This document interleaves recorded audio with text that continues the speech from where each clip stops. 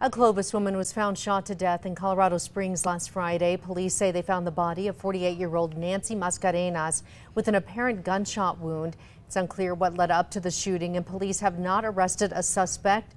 It's also not known if Mascarenas had moved there or was visiting. Colorado Springs police say they could not provide any new information at this time.